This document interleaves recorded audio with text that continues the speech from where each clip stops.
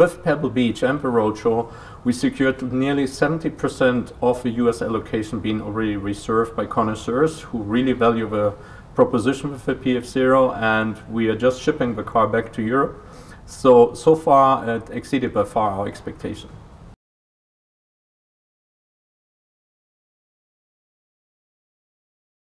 We are planning to build PF0 from late 2020 onwards. We want to build all 150 cars in less than two and a half years. And of course, while we're speaking today, already the draw drawing plans are out for the next product, which for us is a lifestyle um, sport product. It has four seats, it will have four doors, it will have a very sporty body style, yet it will not be a pure sports car, but it will have the performance of a sports car packaged in something which is much more usable on a day-to-day -day basis. So that car we're looking at launching to the later part of 2021. And then we assume that we will have one more product every year until we have four products up in the market. And then we will look at um, different variants of the specific products. So I think we keep our customers and our retail partners quite busy with the brand.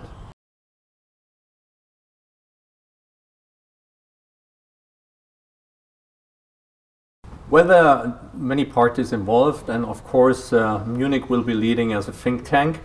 Italy will be the design hub, uh, leading the aesthetics between our Pininfarina SpA designers and my small own design team, which are in charge of making the aesthetics beautiful and mind-blowing.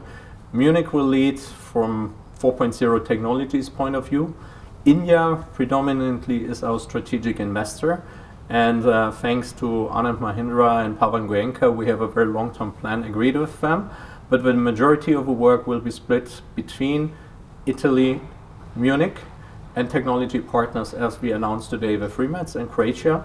And currently we're also looking at the US because I personally think the best is Italian design, German European engineering, and a little bit of flavor of Silicon Valley technology.